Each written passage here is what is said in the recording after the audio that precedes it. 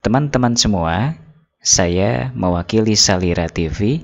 Mohon dukungan teman-teman untuk like, komen, dan subscribe channel ini serta mengaktifkan lonceng pemberitahuannya. Terima kasih. Assalamualaikum warahmatullahi wabarakatuh. Senang sekali teman-teman semuanya, saya bisa kembali hadir ya di channel Salira TV News.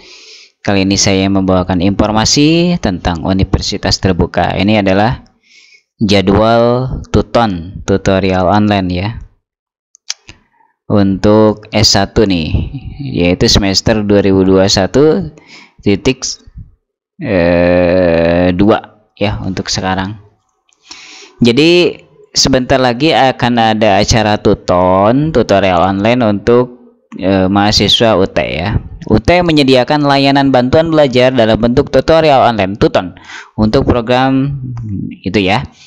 Tuton yang tersedia adalah Tuton mata kuliah, Tuton tugas akhir program tahap bimbingan karya ilmiah Karil online dengan jadwal sebagai berikut. Nah, ini teman-teman dicatat jadwalnya ya.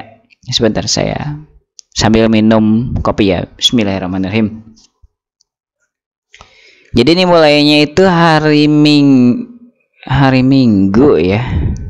Oh, bukan hari Minggu maaf. Sorry sorry sorry. Minggu Minggu ke satu Minggu kedua itu Minggu ke satu ya. Minggu ke satu Minggu kedua Bentar. Minggu ketiga keempat kelima keenam ketujuh sampai delapan. Jadi untuk teman-teman ketahui bahwa apa namanya tuton itu adalah eh, 8 minggu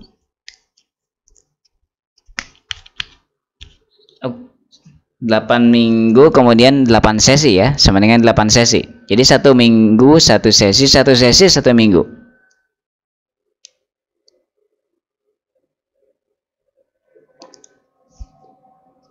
Nah seperti itu. Minggu ke satu sesi satu itu kan? Minggu kedua sesi dua. Ini teman-teman mohon maaf ya saya sambil minum. Sesi eh minggu ketiga sesi tiga dan tugas satu. Jadi kalau minggu ketiga itu ada tugas satunya ya. Kemudian nanti tugas dua di minggu kelima. Kemudian tugas tiga di minggu ketujuh, sesi ketujuh ya. Bismillah.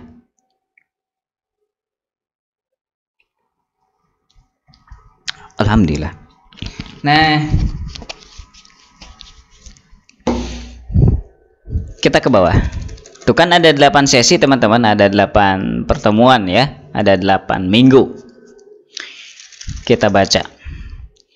Waktunya untuk sesi 1 atau minggu 1 itu tanggal teman-teman catat aja ya, 8 sampai dengan 31. Uh, itu adalah untuk sesi hmm, 1 ya, waktunya itu 8 sampai dengan 31 Oktober. Kemudian sesi 2 itu 25 sampai 7 November. Itu sesi 2 ya. Sesi 3 itu eh, sat, tanggal 1 sampai 14 November. Nah, itu ada keterangannya. Untuk tugas 1 di dalam sistem di dalam sistem akan tertera due, due date sampai tanggal 14 November. Namun Anda masih dapat mengumpulkan tugas 1 sampai dengan tanggal 16 November ya. Pukul 15 katanya gitu. Itu adalah penjelasannya ya. Sesi 4 tanggal 8 sampai 21 November Kemudian sesi 5 dan tugas 2 itu tanggal 15 sampai 28 November. Itu ada keterangan juga, teman-teman bisa baca.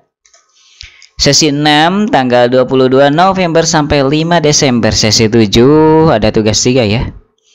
Tanggal 29 November sampai 12 Desember.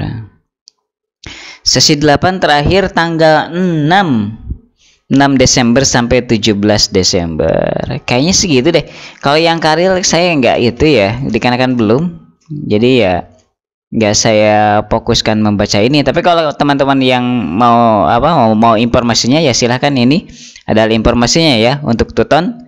Untuk tuton ini untuk tuton tab maksudnya. Untuk ini untuk tuton tab saya akan gedein nanti.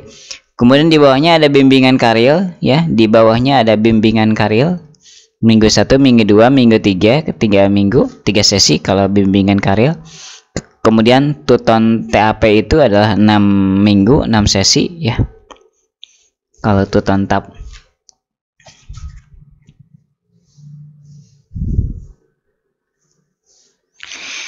Nah, ada lagi nggak informasi ke bawahnya?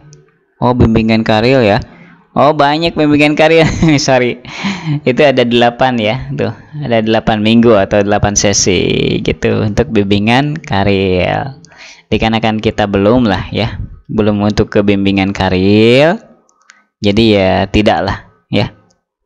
Oke, kita lewat maksudnya ya. Tanggal-tanggal penting. Nah, bawah nih Aktivasi dan konfirmasi tuton itu harus dilakukan mahasiswa tanggal 14 Juni sampai dengan 27 September. Ya, sebenarnya sekarang masih ya. Jadi 14 Juni sampai 27 September 2021. Unggah karya ilmiah 8 November sampai 20 Desember. Nah, gitu ya perlu diinformasikan bahwa nilai tuton akan berkontribusi terhadap nilai akhir mata kuliah sebesar 40% jika Anda memperoleh skor UAS minimal 30. Oke. Itu hampir sama dengan kemarin ya.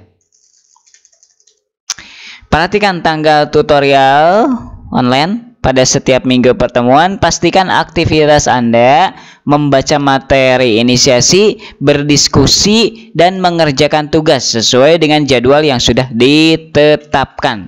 Udah deh habis kayaknya teman-teman. Sorry ya saya agak apa ngantuk ini ya. Saya gini-gini dikarenakan ini untuk agak menghilangkan ngantuk gitu. Padahal sekarang baru pukul 21. Dah teman-teman gitu aja ya informasinya ya. Informasinya demikian. Kalau teman-teman mau nanya-nanya silahkan nanya-nanya di komentar. Nanti akan saya coba menjelaskannya. Jangan lupa subscribe channel Salira TV News ini. Saya jadi pindah ya ke Salira ke Salira TV News untuk hal informasi hmm, UT ya. Saya pindah ke Salira Salira TV News tidak disatukan dengan channel Salira TV yang sekarang memang seperti saya bilang tadi akan diarahkan lebih mengarah kepada kayak semacam eh, keindahan alam ya gitu. Demikian, assalamualaikum warahmatullahi wabarakatuh.